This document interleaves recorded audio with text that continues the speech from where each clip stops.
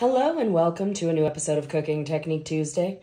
So we're to do another episode about flavor. Uh, I'm to give you a couple. I've done. I did a video like a long time ago on some popcorn stuff, but I don't think that I had had Flavacol at this time. So this is uh, spray butter that is zero uh, that I get at Walmart. This is Flavacol, which I ordered on Amazon. So uh, this actually, it's really delicious. Now, if you have to watch your sodium, don't get it.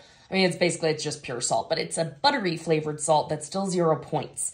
So one, two punch of that on air pop popcorn tastes like actual movie theater popcorn. Now, if I want bougie popcorn, I have this duck fat spray, which you can also get on Amazon, and truffle zest. I've mentioned this in the past, um, the first episode what we did on flavors, but I figured I would show it again because, well, it's always good. And then this is Trader Joe's Green Goddess Seasoning.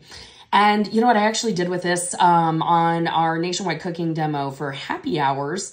Uh, that was one of the things I had um, the Laughing Cow cheese wedge, and I actually pressed the cheese wedge into this, and it tasted delicious on crackers. You could also use this, and I've done this with um, uh, like adding some to my ranch dip. Adds just a little bit of body. As you can see, there's lots of, whoop, there we go, lots of good stuff in there. Uh, it's basically a blend of onion, garlic, salt, etc. Um, but it's really quite delicious. So feel free to check that out.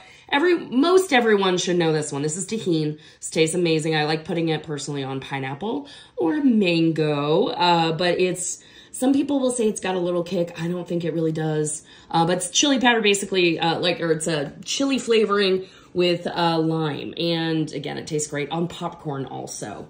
And then I brought out the dill juice.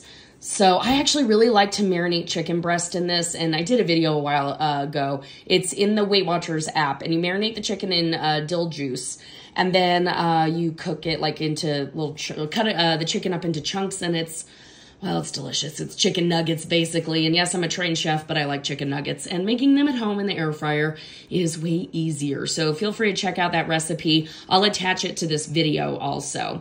Um, but these are just some of the things I like to keep on hand to keep it interesting and add flavor. So this is kind of a what's in my pantry. And we'll keep doing these on occasion, especially when I find new products. So I'll see you next Cooking Technique Tuesday.